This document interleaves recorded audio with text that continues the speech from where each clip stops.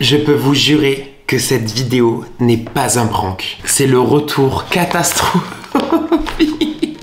Je commence déjà à être méchant, non. Fabien, sois gentil aujourd'hui, sois gentil. Je vais faire cette vidéo avec beaucoup de bonne humeur. C'est le retour de Florence Van oui. Et je tiens à dire que ça n'est pas volontaire. C'est-à-dire qu'un matin, je vois quoi? Hop, une petite notification et je vois qu'on me propose de recevoir un colis avec des produits de la marque Florence Bamitz. Alors, je n'ai pas fait attention à qui m'a envoyé ce colis, mais je présume que ces personnes n'ont absolument jamais mais alors jamais vu mes vidéos YouTube concernant la marque Florence by Mills. Et je préfère me dire ça. Comme si déjà ce colis était pas assez beau, je tiens à préciser que je n'ai absolument pas vu ce qu'il y avait à l'intérieur. C'est la surprise totale. Je sais pas ce qu'il y a dedans. Enfin, non, je mens. Je sais qu'il y a un seul produit, enfin que je connais, parce qu'en fait, quand je l'ai reçu, le produit en fait est tombé parce que j'ai mis le, sac est tombé et le. Bref, on s'en fout. Le produit est tombé. Du coup, j'ai vu quel était le produit qui avait.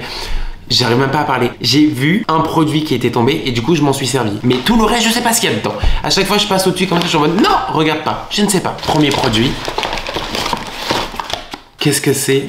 Oh, on a de la skincare, ça je suis content. On a la crème hydratante pour le visage. Hâte de voir ce que ça va donner. Je serais content parce que à chaque fois que j'ai démonté Florence by c'était sur le make-up parce que bah je fais du maquillage. Et du coup tout le monde me disait non mais en fait c'est mieux le, soin, la skincare, etc. Vraiment la marque elle est mieux pour ça et tout. Je en mode ah. si le make-up il est pas fameux, je vois pas en quoi la skincare va être incroyable. Hein. Mais bon.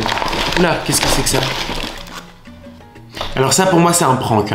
On a des strass cœur et euh, petit rond là, les petits diamants là, c'est littéralement une planche de strass qu'on a chez Claire's, qu'on a chez Amazon, qu'on a chez AliExpress, qu'on a absolument de partout. Et elle vend ça. Je, je veux juste voir combien est-ce que c'est vendu. Ça me stresse énormément. Attendez. Strass Florence by Mills. 14 dollars.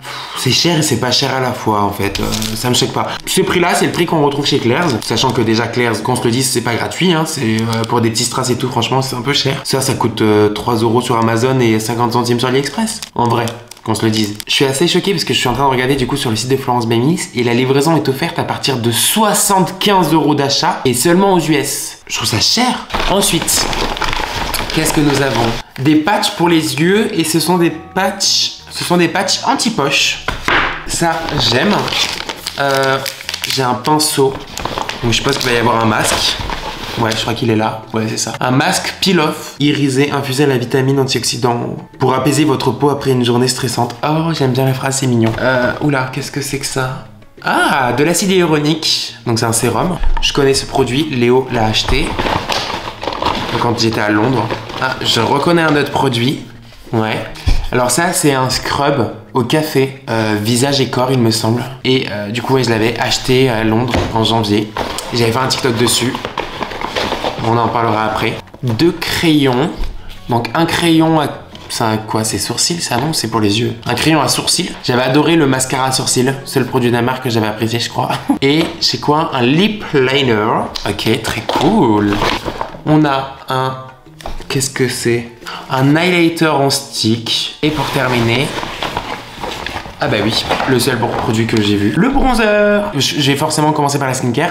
Techniquement, avant de faire un masque, donc celui-ci, ce qui est bien, c'est de faire un gommage. J'ai pas apprécié le gommage, celui-ci, parce que c'est un gommage à grains. C'est vraiment un gommage au café. Par contre, en termes d'odeur, j'avais adoré, parce que vraiment, ça sent premier dog le café de ouf. J'adore l'odeur du café, je trouve ça sent trop bon. Mais c'est vrai que le gommage à grains pour le visage, pour moi, c'est un no-go. Je trouve ça beaucoup trop agressif, notamment celui-ci. Il existe des gommages à grains euh, avec des, des, grains hyper fins, etc. Et euh, enfin, ça fait pas mal à la peau. Celui-ci, pour le coup, il n'y a pas beaucoup de grains, mais ce sont des vrais grains assez épais et je le trouve vachement désagréable et je sais que j'avais la peau rouge un peu irritée et tout. Donc, euh, je vais pas m'en servir, honnêtement, sur le visage. Je vais pas le gaspiller, je m'en servirai pour les pieds. Du coup, je vais directement passer au masque et également au patch pour les yeux. Alors, le pinceau, j'aime beaucoup le packaging, en vrai, ça j'aime bien. La couleur et tout, j'aime bien. Et après, bah, ça c'est un pinceau, euh, tout ce qu'il y a de plus classique en silicone. C'est un pinceau pour appliquer les masques. Euh, Qu'est-ce que ça dit? Sur ce masque. Appliquez une couche épaisse et uniforme sur tout le visage, évitez le contour des yeux, les sourcils et la ligne des cheveux. Ça tombe bien, je comptais pas me faire une implantation capillaire. Laissez... Non, quoi? Choqué. Ok, j'ai eu un bug, je savais pas si c'était vraiment ma dyslexie qui était en train de reprendre le dessus ou si c'est juste une faute de frappe. Mais il y a vraiment une énorme faute de français. Enfin, c'est même pas une faute de français, c'est-à-dire qu'ils ont inventé un mot. Je pense que c'est la traduction qui est très mauvaise, qui a été mal faite. Laisse. CCC. CC chercher. Non, c'est Non, cesse chercher. J'ai jamais vu ça de toute ma vie. Y a pas quelqu'un de français dans son équipe qui lui a dit bah ce mot-là, je crois qu'il n'existe pas. Attendez, je me mets un serre-tête parce que sinon je vais en foutre partout. C'est super beau. C'est super liquide sa mère, genre. Donc faut faire attention. En gros, faut pas faire des vidéos avec, quoi. Tu fais ton masque et puis c'est tout. Donc évitez les sourcils, le contour des yeux et euh, les, cheveux. tout ce qu'il y a de plus euh, classique en vrai. Ok, donc je fais ça avec mon retour écran. Waouh, c'est super beau. Il y avait écrit couche épaisse, hein. Enfin, je sais pas, mais en tout cas, le masque est épais de base. Donc c'est pas du tout un masque qui est fin. Ça sent un peu l'alcool, je trouve. Ça sent le nettoyant, je sais pas, le détergent. Ah putain, merde, j'ai oublié d'enlever mon patch. Bon, c'est pas grave. Ah putain, ouais, mais moi j'ai un tout petit espace, c'est pas du tout pratique pour mettre des masques ici. Après, ça c'est vraiment ma tête qui est comme ça, mais. Bah, je vais m'arrêter là au niveau du masque. J'ai un petit côté piquant sur la peau. Pourtant, j'ai pas la peau euh, de ouf sensible, hein, mais. Euh, je pense qu'il y a de l'alcool dans ce produit. Le premier ingrédient c'est de l'eau et le deuxième ingrédient c'est du polyvinyl alcool. Alors je suis pas très fort en, ingrédients mais à partir du moment où il y a écrit alcool, je suppose que c'est de, de l'alcool. Euh, pendant ce temps, je vais mettre les patchs contour des yeux Donc ça, c'est des anti-poches. Ça tombe bien, j'ai les yeux qui gonflent à 24. Ah, j'aime bien, on a une petite spatule pour récupérer les patchs. Et il ressemble à quoi, ça, du coup? C'est pas les baleines, cela? Oh non, c'est beau Ça n'a pas d'odeur, c'est frais, juste. Ah, c'est super épais. Ah, j'adore les patchs comme ça, par contre. Ça, je sens que je vais adorer. J'adore la forme. Et genre, je le mets comment? Comme ça Hop là Bon, par-dessus le masque, tant pis. Ça, j'aime bien. Contour des yeux comme ça, genre hyper rafraîchissant et tout, ça, je kiffe de ouf. Ça, je valide. Ah, j'adore. Je sais pas ce que ça fait, mais en tout cas, euh, même s'il n'y a pas d'effet, j'aime trop l'effet euh, frais sous les yeux, genre même si ça sert à rien, je sais pas. Je trouve ça stylé, je trouve ça esthétique et c'est confortable, genre. Concernant le crayon à sourcil, parce que du coup, en vrai, bah, je vais faire mes sourcils en même temps. Oh non Bon, non, Fabien, critique pas, t'as pas essayé. Donc c'est un crayon à sourcil qui se présente comme ceci. Voilà pourquoi j'ai dit oh non, parce que je déteste les crayons aussi épais, genre je trouve ça chiant. C'est soit les feutres pour moi, soit les crayons fins. Et ensuite, bah, on a un goupillon qui a l'air plutôt pas mal. Voilà, les goupillons, ça j'aime. Il est gros, j'aime bien, ok. Et en termes de teinte, j'ai la teinte Medium Brown et elle a l'air quand même très foncée. Ah, et c'est pas orange. Ça, on aime. C'est pas orange du tout. C'est un beau, euh, un beau marron. C'est un marron cendré.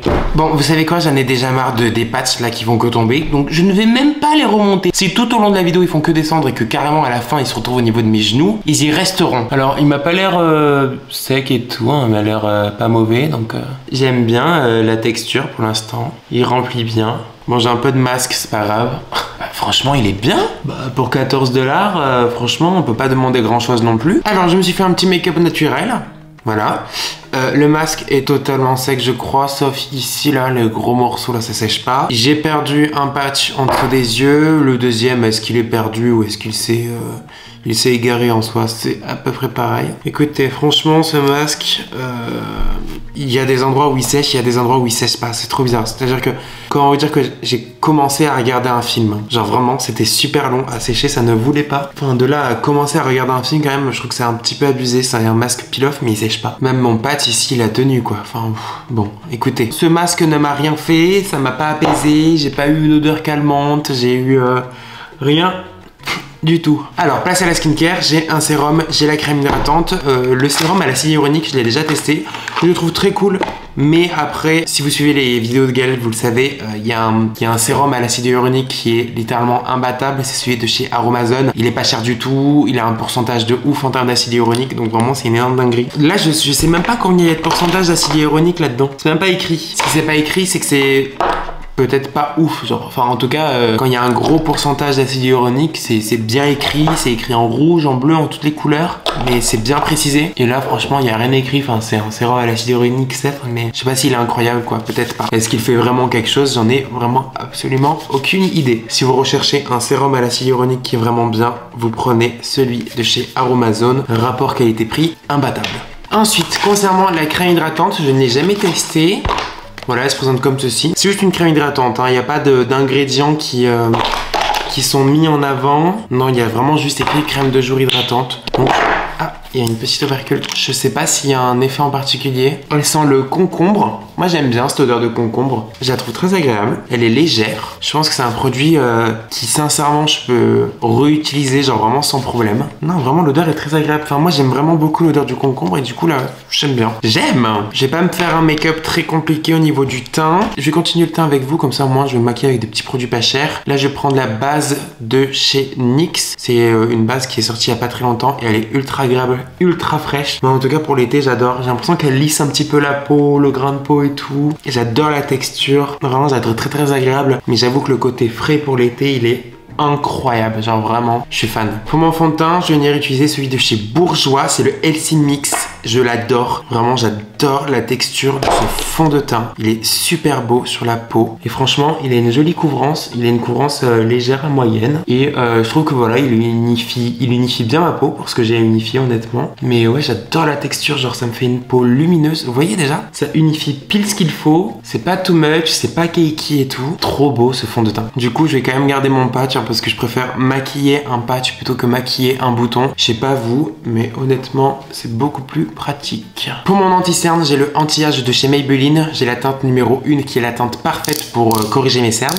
et j'utilise la teinte 0 pour venir illuminer. La teinte numéro 1, j'en mets bien entendu au niveau de mes cernes, mais je vais également mettre au niveau de ma moustache au niveau des petites imperfections que je souhaite vraiment genre euh, cacher. Vous voyez, on a toujours 2-3 imperfections en plus, et vu que le fond de teint que j'ai utilisé est quand même léger, un petit peu d'anti-cerne et c'est bon. Et du coup, la teinte 0, j'illumine. Donc pour illuminer, c'est au niveau de mes yeux, un petit peu au niveau du front, le menton, la jawline. Je vais venir utiliser l'anti-cerne anti-âge en teinte 145 pour me faire un espèce de petit contour. Enfin, c'est plus pour mettre du bronzer crème en fait. D'ailleurs, petit tips, si vous avez pas mal d'imperfections et que vous souhaitez mettre du bronzer crème, ne prenez pas un bronzer réellement qui est crème parce que du coup, c'est pas quelque chose qui est couvrant, c'est quelque chose qui va juste venir réchauffer votre teint, qui va venir un petit peu genre faire déplacer votre fond de teint et tout et tout et vous, et vous enlever un petit peu de couvrance. Prenez un anti-cerne justement pour les peaux noires. Donc euh, par exemple celui-ci de chez Maybelline qui est trop bien, qui a une très jolie couvrance et qui va venir réchauffer votre teint tout en gardant de la couvrance parce que du coup bah, de base c'est un anti-cerne et au final bah, ça vous fait votre petit bronzer crème mais avec de l'anti-cerne. Genre c'est trop bien parce que du coup bah, vous perdez aucune couvrance, vraiment aucune. Je vais venir poudrer avec ma poudre de chez Maybelline. Non cette vidéo n'est pas sponsorisée par Maybelline mais personnellement je trouve que c'est vraiment la seule poudre libre parce que pour moi c'est la seule poudre qui est pas chère et qui est bien. Je déteste la NYX, je déteste la Kiko et tout. Et genre toutes les poudres pas chères que j'ai pu tester, je les déteste. Mais alors celle de chez Maybelline, franchement, elle est trop bien. Alors, je poudre légèrement mon teint parce que bah j'ai quand même un highlighter stick à tester. Donc du coup, j'ai pas trop poudré ces zones-là. Vous voyez ce que je veux dire? Parce que sinon, ça va tout déplacer. ça va être horrible. J'ai quand même passé au bronzer. Bronzer que du coup j'ai testé, que j'apprécie. Je le trouve très très beau. C'est un bronzer, regardez, comme ceci, qui est un petit peu satiné, etc. Il est pas mat. Et franchement, il est très très cool. Par contre, c'est un bronzer qui est vraiment genre très doré. Franchement, il a une très très bonne pigmentation, mais il est vraiment très très très chaud. Donc euh, si vous aimez les bronzers qui sont plutôt légers, froids et tout, vous allez le détester parce qu'il ne l'est pas du tout. Très bon bronzer, franchement, il fait son taf. Euh, moi, je le trouve très cool. Voilà, ça, ressemble à un petit bronzer Kiko, NYX et tout. Franchement, c'est cute. Concernant l'highlighter en stick, alors, ça se présente comme ça. Bon, tout est violet, de toute façon, comme d'hab. Oula, ça m'a l'air bien foncé tout ça.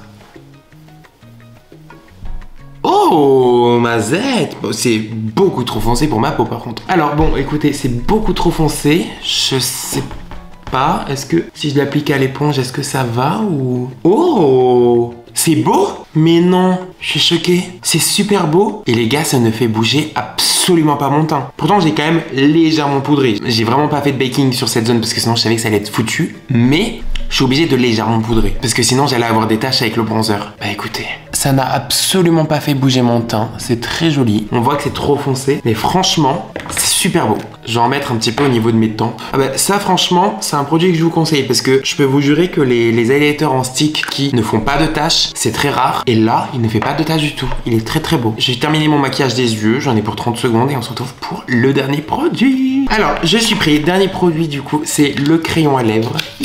Déjà, quelle couleur il est. Il m'a l'air bien rose. J'ai un peu peur parce que j'ai détesté les crayons rose fuchsia comme ça là. Oh non, en vrai, ça a l'air d'être une teinte assez sympa pour faire un bon contour. J'adore. Ah, j'adore, j'adore, j'adore, j'adore. Qu'est-ce que c'est? J'aime beaucoup. Bon, déjà, ce que j'aime moins, c'est que c'est pas un crayon rétractable. Genre, c'est un. C'est un crayon qui se taille. Je trouve ça un peu chiant. Euh, pour ceux que ça intéresse, j'ai la teinte Bold. Très crémeux, très pigmenté. Voilà ce que ça donne, franchement, je trouve très très beau ce contour pour le coup. J'ai un petit peu le dégradé pour pas que ça soit trop net. Alors, c'est un crayon qui sèche déjà. Il est beau Très très beau crayon à lèvres, la teinte elle est sublime. Au centre, je vais mettre ce gloss de chez Sephora. Je sais pas du tout si ça va le faire, mais je pense que ça peut le faire. Ah ouais, j'adore. C'est les gloss vinyle, donc c'est des gloss qui sont euh, pigmentés. Et c'est la teinte 14, Endless Rose. oui, je découvre le gloss aussi. C'est pas forcément les lèvres que j'aurais fait avec ce make-up, mais en soi, ça va. Je dois vous avouer que globalement, par rapport aux produits que j'ai testés, euh, bah, il y a quand même plus de top que de flop. Tous mes autres crash tests Florence Mamille, c'était vraiment une catastrophe. Pour moi, c'était euh, euh, de l'argent gâché par les fenêtres, etc. J'ai pas mis de mascara en bas et vous me l'avez pas dit. Je suis choqué. Attendez, je mets le nouveau de chez Maybelline que j'adore. C'est le The Falsy su surréel. Même avec le mascara du Not Mark, j'arrive à être dans le thème. C'est la même couleur. Pour revenir au produit, alors je tiens quand même à dire que lors de mes euh, deux dernières vidéos qui datent d'il y a deux ans, trois ans même, je sais pas. Euh, la critique que je recevais le plus en commentaire, c'est oui mais Fabien, toi t'es un professionnel du make-up, etc. Euh, t'es majeur et tout, euh, t'es pas du tout concerné par les produits Florence by Et alors c'est pas parce que la communauté des Florence by est jeune que ce sont des produits à 100% adaptés aux adolescents. Ça ne veut absolument rien dire. Et c'est pas parce que je suis un professionnel du make-up que je ne sais pas lire la promesse du produit. En fait, à chaque fois que je critiquais les produits que j'ai pu tester, c'était selon leur promesse. À partir du moment où, par exemple, on me dit que le fond de teint est absolument euh, trop bien, qu'il unifie la peau, qu'il est très beau, euh, qu'il tient, etc. Et que je vois qu'il n'unifie rien, que c'est de l'huile, que c'est du gras et qu'au bout de 30 secondes sur ma peau, il part. C'est pas que je suis professionnel et que, et que je suis pas concerné par les produits. C'est juste que le produit est mauvais. Il faut être objectif sur les produits. Et aujourd'hui, je vais être objectif. Oui, je n'ai pas apprécié le masque Peel Off parce que je le trouve vraiment pour le coup nul. Mais le reste des produits, bah écoutez, ils sont sympas, ils sont pas mauvais. Et eh bien écoutez, cette vidéo est maintenant terminée. Je suis content mon make-up est très beau. En attendant, je vous fais plein de gros bisous. Je vous dis à la prochaine dans une autre vidéo YouTube. Bisous